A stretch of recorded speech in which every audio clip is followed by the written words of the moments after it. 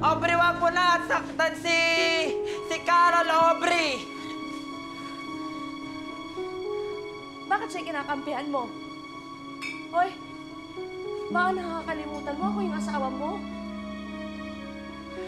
Aubrey, inaaway mo si Carol, ikaw ah. Ikaw ah, una nag-away kay Carol, ikaw yung una sumugod eh.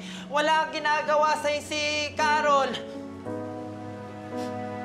Tapatin mo nga ako. Mahal mo pa ba si Carol? Oh, Aubrey! Best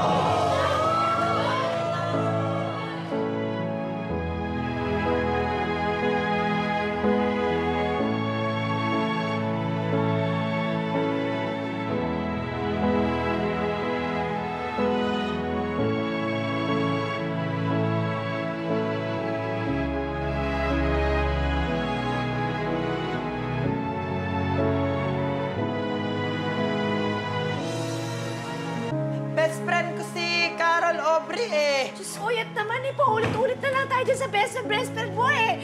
Ano ba? Ilang beses ko ba dapat sabihin sa'yo ate, papasok sa kukote mo? Asawa mo ako, dapat ako lang yung mahal mo. Napaka-bobo mo! Tama na, Aubrey! Hindi mo kailangang insultuhin si Boyet. Aubrey, ikaw lang yung mahal ni Boyet.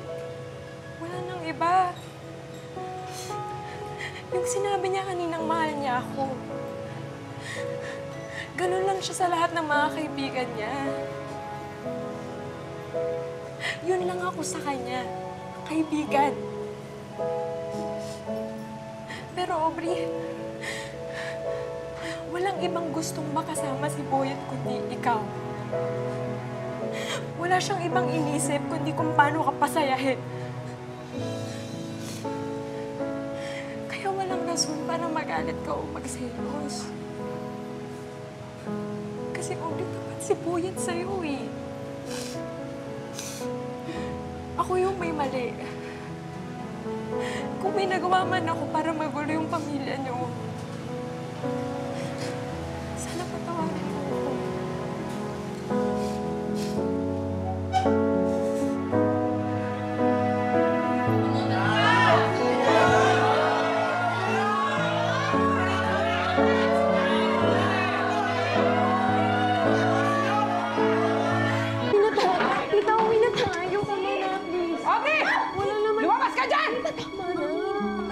Tigilan niyo nga ako! Hoy, Aubrey!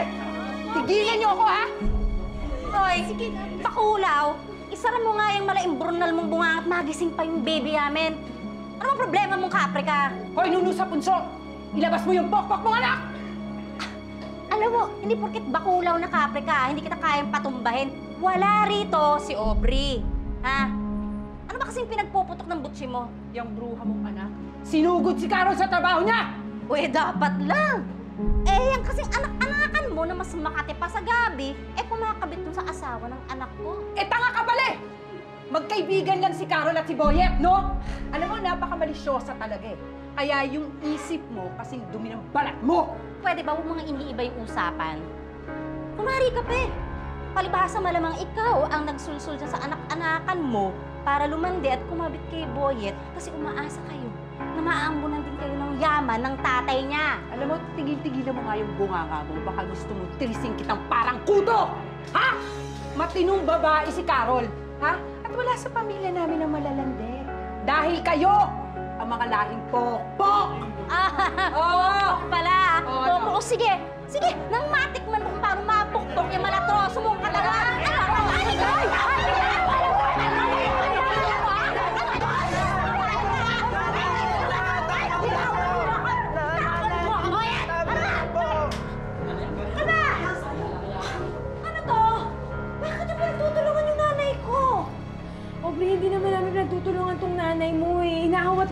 Sila eh.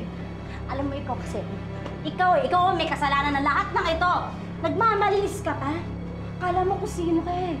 Pero gusto mo lang kumabit dito sa sa boyet na to kasi gusto mo magkapera. Aling Mina, hindi po totoo yan. Mukha mo. Di ba ex mo ngayon si Orville, yung kapatid nito? O ngayon siya naman. Tutuhugin mo talaga yung dalawang magkapatid. Halimina, tumigil na po kayo. Hindi po totoo. yan. Alam po ni Boyet yun. Sasagot-sagot ka pa. Alam mo, ikaw kasi... Alam mo, lumayan kayo mo!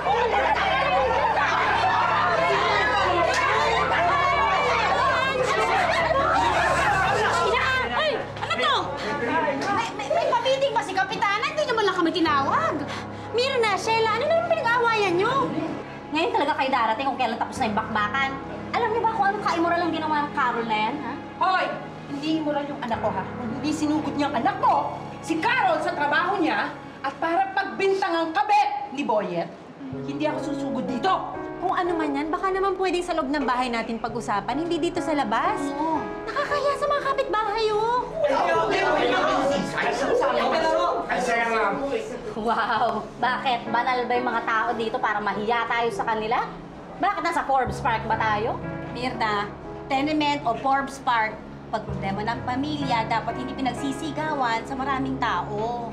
Oo nga naman. Pwede naman natin pag-usapan ng malmanay. Pamilya, pamilya. Eh, etong babae ko sinisira na nga yung pamilya ng mga anak natin, tapos wala pa rin kayong gagawin. O baka naman kinukonsinti nyo lang kasi yung pambababae ng abnoy na to. Hoy, Mirna, isarado mo yung bunganga mo ha kung ayaw mo magmumog sa sarili mong dugo. Ay, oh, tama na, ba malumanay? Malumanay, di ba? Oo Maluma naman eh. Kasi kakasabi mo lang malumanay eh. Okay na yan. Pwede naman mag-usap eh, di ba? Nang malumanay. Sige na. Cindy, Carol, tara na!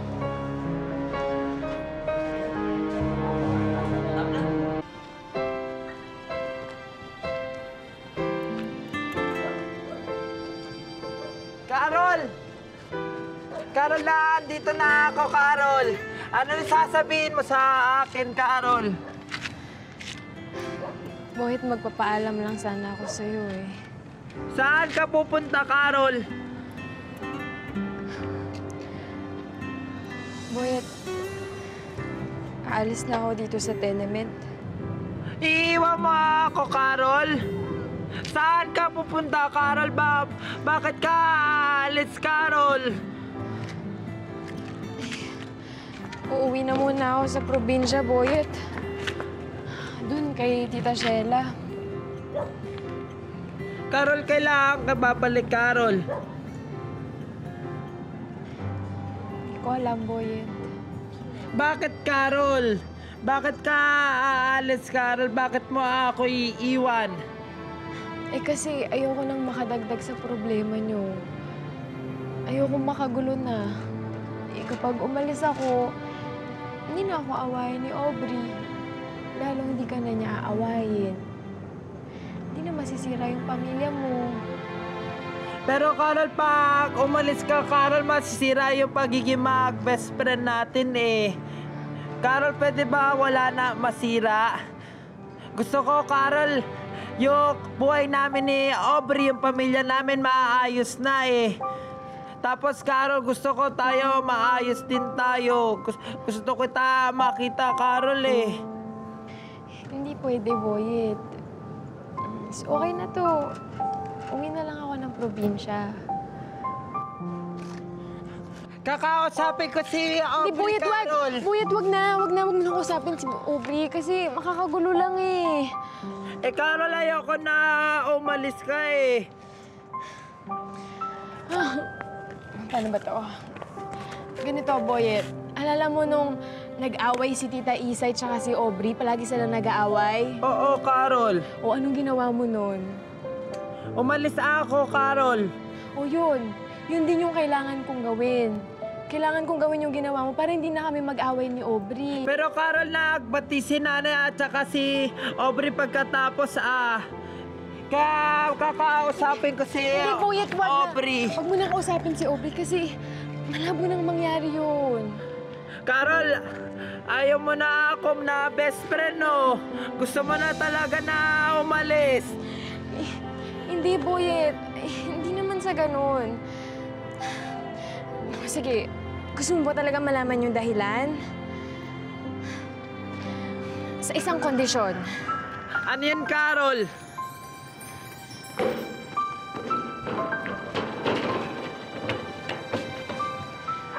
Nakikita mo yon? Oo, Carol. Gusto ko pumunta ka doon. Ala, Carol. Alayo niyan, Carol eh. O sige, gusto mo ba talaga sabihin ko sa yung dahilan? Eto na, bababa na ako, Carol. Hintayin mo ako, saglit lang ako, ha?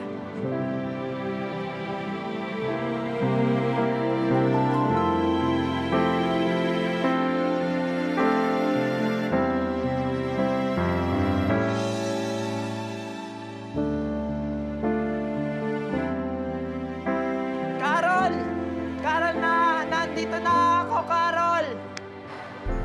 Boyet, sorry! Sorry kasi hindi ko na kayang magpanggap. Hindi ko na kayang magpanggap na best friend na yung turing ko sa'yo. Akala ko mawawala yung ganitong pakiramdam nung sinabi ko na sa'yo yung totoo